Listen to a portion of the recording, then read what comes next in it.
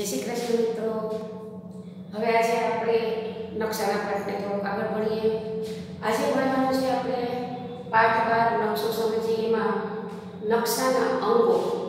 મિત્રો, તમને એમ નકશાના અંગો કેમ હોય? જેમ આપણે શરીરના અંગો છે ને, મુખ્ય અંગો. ધડ, હાથ, પગ, માથું. તો એવા અલગ અલગ મુખ્ય અંગો ગણાય છે. તો એવી રીતે નકશાના પણ અંગો છે નકશાના મુખ્ય ત્રણ અંગ છે. દિશા, એને દિશા સૂચક પણ કહેવાય છે પ્રમાણ માપ અને રૂઢ સંજ્ઞા. એ ઉપરાંત રંગ. એ રૂઢ સંજ્ઞાની અંદર જ એનો સમાવેશ થાય. તો આ દિશા શું છે? તો કોઈ પણ નકશો લઈએ, તો એની અંદર એક ઉત્તર દિશા દર્શાવેલી હોય. હવે તમને મિત્રો ખબર છે કે ઉત્તર દિશા આપણને જાણવા મળે, તો એની નીચે દક્ષિણ દિશા જ હોય હવે જો નકશાની સામે તમે ઊભા રહ્યો તો જમણી તરફ પૂર્વ દિશા આવે અને ડાબી તરફ પશ્ચિમ દિશા આવે.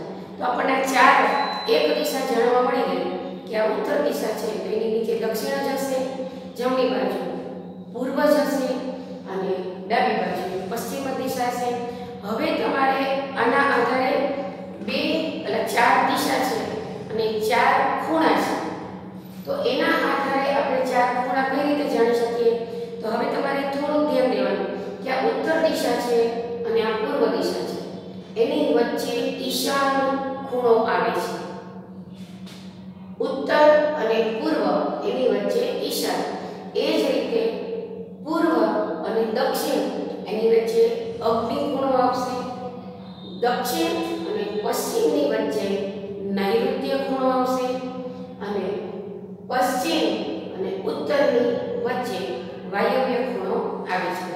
એમ આ રીતે દક્ષાની નકશાના ચાર ખૂણા છે અને ચાર દિશા છે. ઉત્તર, દક્ષિણ, પૂર્વ, પશ્ચિમ. એની દિશા ઈશાન, અગ્નિ, નૈઋત્ય અને વાયવ્ય. એના ખૂણા ગણવામાં આવે છે હવે પ્રમાણ માપ એટલે શું પ્રમાણ માપ એટલે જો આખા ભારતનો નકશો આટલામાં સમાય ન જાય તો આની અંદર આપણે પ્રમાણ માપ તમે ગણિતની અંદર આલેખ દો એમાં પ્રમાણ માપ લખેલું હોય તો એમાં એક સેન્ટીમીટર બરાબર સો કિલોમીટર કે સો મીટર એવું જે માપ લખેલું હોય તો ઓરિજિનલ જે એક ગામથી કે એક સ્થળથી બીજે સ્થળનું માપ એ એક સેન્ટીમીટર બરાબર તમારે જે નકશામાં પ્રમાણ માપ લખેલું છે આપણે અત્યારે સો મીટર સમજીએ. એક સેમી બરાબર સો મીટર.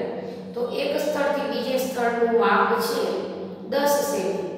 તો આપણે એને દસ ગુણ્યા સો એ કરી અને એનું ઓરિજિનલ જે માપ હોય છે એ મેળવી શકાય. દસ ગુણ્યા સો એટલે હજાર મીટર. તો હજાર મીટરનું બે સ્થળ વચ્ચેનું અંતર હશે, એમ આપણે માનવાનું તો એને કહેવામાં આવે છે પ્રમાણમાં બે સ્થળ વચ્ચેનું અંતર જાણવા માટે નકશામાં આ પ્રમાણમાં આપેલું હોય છે.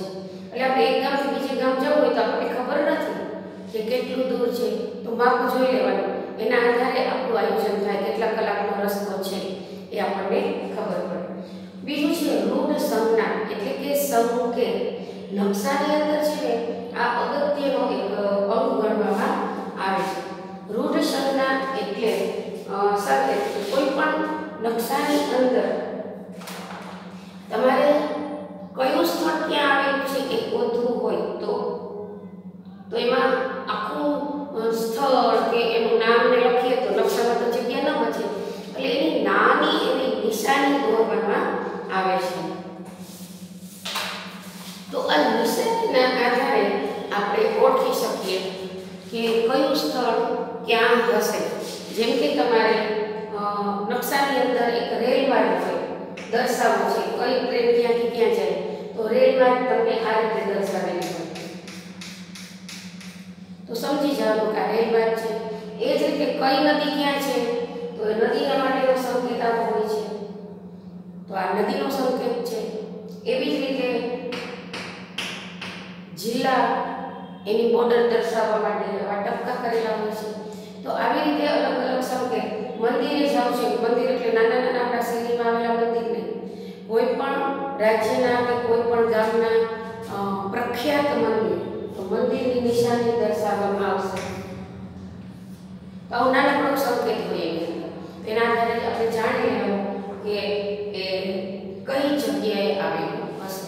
હવે એ ઉપરાંત રંગ ઉપરથી પણ આપણને અમુક સંકેત મળે છે. જેમ કે નકશાની અંદર જે આ વાદળી રંગ છે, એ આપણને પાણી દર્શાવે છે. જ્યાં જંગલો હશે, કે વનસ્પતિ હશે, ત્યાં લીલો રંગ કરવામાં આવેલો હશે. જ્યાં જમીન છે, ત્યાં લાલ રંગ દર્શાવવામાં આવે છે. ખેતી હોય, ત્યાં પીળો રંગ દર્શાવવામાં આવે છે. જ્યાં રેલવે લાઈન છે, ટ્રેન છે, એનું કાળો રંગ દર્શાવવામાં આવે છે. તો આવી રીતે અલગ અલગ રંગ ઉપરથી પણ આપણને ખ્યાલ આવી જાય કે અહીંયા કયું સ્થળ હશે. પાણીનું આકાશનું કે જમીનનું, ખેતીનું, જંગલનું, કોઈ પણ આપણને સંકેત ઉપરથી અને રંગ ઉપરથી ખબર પડી જાય. હવે આપણે ભારતનું સ્થાન ક્યાં? તો તમને એમ થશે કેવી રીતે ભારતનું સ્થાન જાણવું? તો તમને અહીંયા જો નકશો બતાવવામાં આવેલો છે, આ સૌથી પહેલો નકશો છે ભારતનો. આ ભારતના નકશાના આધારે જો કહેવાય રાજકીય નકશો આ ભારતનો નકશો છે, એની અંદર આપણા બધા ઓગણત્રીસ રાજ્યનો સમાવેશ થાય છે. દરેક રાજ્યને અલગ અલગ રંગથી રંગવામાં આવ્યા છે દરેક રાજ્ય આપણને અલગ અલગ દેખાય તો આ તો ભારતનું સ્થાન છે. પણ ભારતની અંદર એમ કે ગુજરાત ક્યાં છે? તો તમે કહી શકો કે આ ગુજરાત છે. ભારતની અંદર ગુજરાત પશ્ચિમ દિશાએ આવેલું છે. બરાબર? અને હા આ ગુજરાત ઉપરથી આખા ભારતની બરાબર વચ્ચેથી કર્કવૃત પસાર થાય. તો એ અહીંયાથી ગુજરાતમાંથી પસાર થાય છે. તો આવી રીતે એ વૃત ઉપરથી પણ આપણને એ જાણવા મળે. પણ હવે આપણે દુનિયાની અંદર ભારત ક્યાં છે, એ જાણવું હોય તો તો જો મિત્રો આખો દુનિયાનો નકશો છે. આની અંદર સાતે સાત ખંડ આવી જાય. તો આપણને એટલી ખબર છે કે એશિયા ખંડની અંદર ભારત છે. તો એટલી પણ ખબર હશે, એશિયા ખંડના દક્ષિણે ભારત આવેલો છે. તો આ આખો ખંડનો નકશો એમાં આ એશિયા ખંડ છે. એશિયા ખંડની દક્ષિણે જોઈએ તો આ રંગનો છે, એ ભારતનો નકશો છે. તો આપણે એટલું જાણી શકાય કે એશિયા ખંડની અંદર દક્ષિણ વિભાગમાં ભારત આવેલો છે હવે તમારે આખો મોટો એવો એશિયા જ ખંડ જોવો હોય તો આ ફક્ત ને ફક્ત એશિયા ખંડનો નકશો છે સાત ખંડનો આ એક ખંડ સૌથી મોટો જે ખંડ ગણવામાં આવે છે પૃથ્વી પરનો આ એશિયા ખંડ એની અંદર આ દક્ષિણ વિભાગ એમાં આ લીલો રંગ છે, એ ભારત દક્ષિણમાં ભારત આવેલો છે. તો આવી રીતે આપણે નકશાની અંદર કયા દેશનું કયા રાજ્યનું ક્યાં સ્થાન છે એ જાણી શકાય છે. તો તમને